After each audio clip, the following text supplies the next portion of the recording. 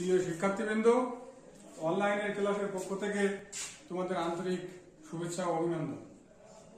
আমি দেবাশিস কুমার রায়, রহমতপুর নবদ্বীপ শিক্ষা সভার মাধ্যমিক বিদ্যালয়ের সহকারী শিক্ষক। আজকে তোমাদের নবম ও দশম শ্রেণির জীববিজ্ঞানের মানবদেহ রক্ত সংবহন তন্ত্রের একটা অধ্যায় শিখাব। এখানে রক্ত সংবহন তন্ত্র।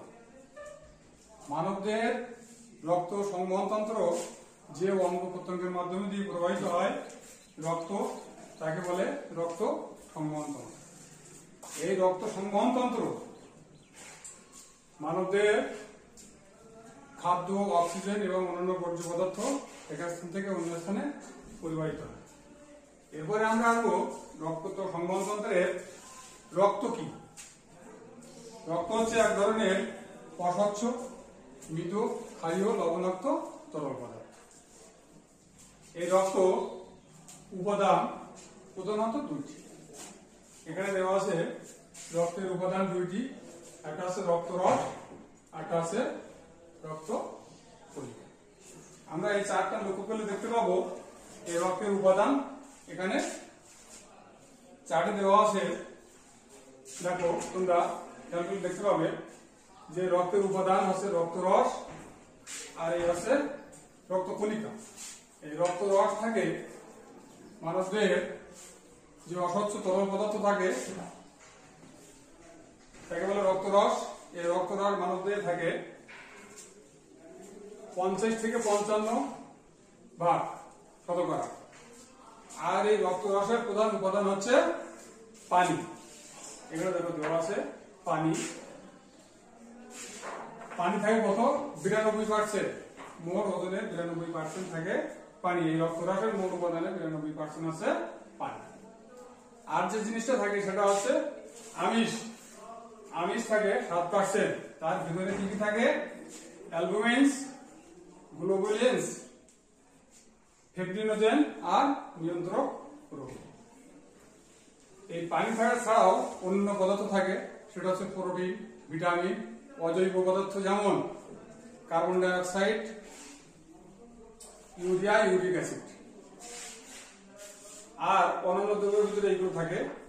এরপরে আসব আমরা এই যে রক্ত রস, রক্ত রসের হচ্ছে রক্ত কণিকা। এই রক্ত কণিকাকে প্রধানত আবার তিন ভাগে ভাগ করা যায়। রক্ত কণিকা। রক্ত কণিকাকে তিন ভাগে ভাগ করা যায় হচ্ছে এক, লোহিত রক্ত কণিকা দুই শ্বেত রক্ত কণিকা তিন হচ্ছে অনুশক্তিকা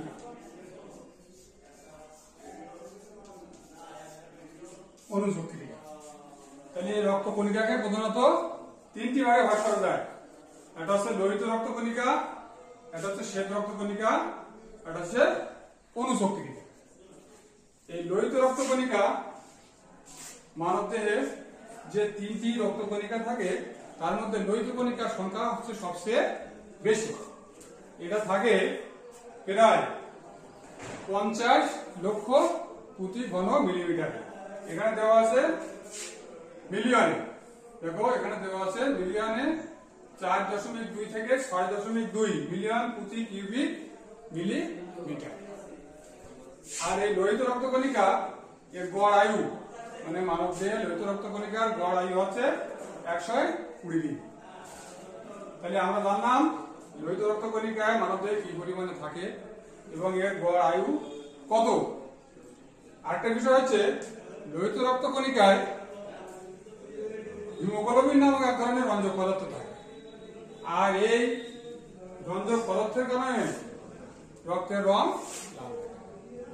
আমাদের মানব দেহে যদি এই হিমোগ্লোবিনের পরিমাণ কমে যায়, তাহলে মানুষ কি হয়? রক্ত শূন্যতায় ভোগে। আমাদের দেশে প্রায় দুই তৃতীয় অংশ এই রক্ত শূন্যতা রোগে এরপরে আমরা দেখব শ্বেত রক্তকণিকা। এই শ্বেত রক্তকণিকা বা ডব্লিউ বিসি আর লোহিত রক্তকণিকা আছে RBC red blood corpuscles white blood corpus এই শ্বেত রক্তকণিকায়, এই শ্বেত রক্তকণিকা এখানে আছে দেখো, এর শ্রেণি বিভাগ আছে। তবে শ্বেত রক্তকণিকায় মানবদেহের শ্বেত রক্তকণিকার সংখ্যা হচ্ছে চার থেকে দশ হাজার। আর এই এই শ্বেত রক্তকণিকার গড় আয়ু আছে এক থেকে পনেরো দিন। যেহেতু এতে অনুসক্রিকা এই হিমোগ্লোবিন নামক রঞ্জক পদার্থ থাকে না, তাই এদেরকে শ্বেত রক্তকণিকা বলে বা হোয়াইট বেল, ব্ল্যাক কর্পাসেলস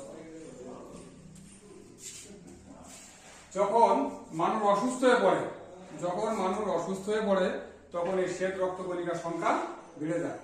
যেমন আমাদের দেশে বা প্রত্যেক দেশে সেনাবাহিনী থাকে। এরা কি করে? যখন কোনো জায়গায় ঝামেলা অ্যাক্সিডেন্ট হয়, সেখানে সেনাবাহিনী যেই চারিদিকে ঘিরে ফেলে। সেই জায়গাটা চারদিকে নিয়ন্ত্রণ করে নেয়, ঘিরে ফেলে। আমাদের এই শ্বেত রক্তকণিকাও কি, শরীরে যদি কোনো সময় কোনো জায়গায় সমস্যা হয়, তাহলে সেই জায়গাটা ও ঘিরে ফেলে। মানে সেনাবাহিনীর কাজ করে। শ্বেত রক্তকণিকা এক কথায় সেনাবাহিনীর কাজ করে। এই শ্বেত রক্তকণিকাকে গঠনগত ভাবে দুই ভাগে ভাগ করা হয় অ্যাগ্রানোসাইট আর গ্রানুলোসাইট এই অ্যাগ্রানোসাইটের ভাগ হচ্ছে আবার তিনটি, এই দুইটি। একটা আছে লিম্ফোসাইট এখানে দেওয়া আছে, দেখো শ্বেত রক্তকণিকা এই প্রকারের লিম্ফোসাইট আর আছে মনোসাইট। এই মনোসাইটটা কি করে? এখানে দেওয়া আছে, দেখো ফ্যাগোসাইটোসিস প্রক্রিয়ায় নির্দিষ্ট সুরক্ষা। ফ্যাগোসাইটোসিস প্রক্রিয়ায় এটা দেহের ক্ষতিকর জীবাণুকে ধ্বংস করে। ফ্যাগোসাইটোসিস প্রক্রিয়ায় ক্ষতিকর জীবাণুকে ধ্বংস করে কে? এই মনোসাইট। কীভাবে? দেখা যাচ্ছে, এই এই আছে মনোসাইট, এখানে খাদ্য। এই যদি খাদ্য আস্তে আস্তে কি করবে? সে?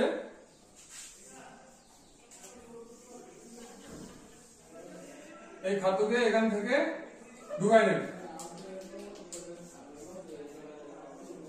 নিয়ে সে ধ্বংস করবে আর দেখো, এখানে দেওয়া আছে এই পার্সেন্টেজটা দেখো যে রক্ত রসের পার্সেন্টেজ এই লোহিত রক্তকণিকার সংখ্যা এই, আর এই বাকি আছে এইটুকু দেওয়া হয়েছে অনুসক্রিকা বা এই শ্বেত রক্তকণিকা এরপরে, দেখো, এই লিম্ফোসাইট আর মোনোসাইট।